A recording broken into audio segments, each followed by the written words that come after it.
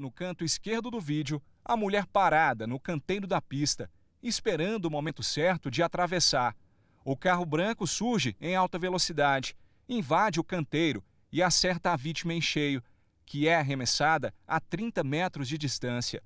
Nilma Maria Barcelos, de 44 anos, era diarista e estava indo trabalhar. No local ficaram as marcas da batida e pedaços do veículo. O local onde ela foi atropelada dá acesso aos principais condomínios de luxo de Goiânia.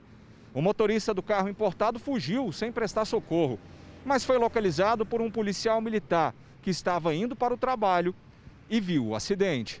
Ele estava trancado no quarto, a mãe convenceu de abrir a porta, ele abriu e nós, então, é, comunicamos ele que estaria sendo preso em flagrante por ter cometido, né, é, se envolvido no acidente e conduzimos ele até a autoridade policial.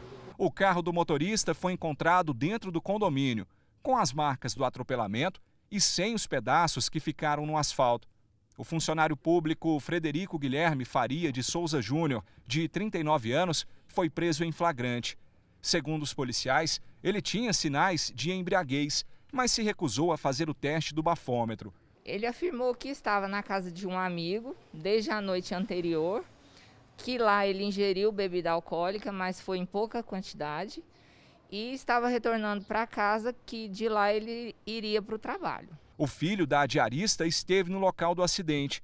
Ele estava em choque e não quis gravar entrevista. Segundo dados do último anuário do seguro DPVAT, os pedestres ocupam o segundo lugar no número de indenizações por acidentes fatais e invalidez permanente. São as vítimas mais expostas do violento trânsito brasileiro. O próprio Código de Trânsito nosso traz em seu bojo a legislação de que os veículos de maior porte, aqueles veículos mais pesados, eles sempre têm que resguardar essa proteção e segurança dos pedestres que são mais vulneráveis no nosso trânsito.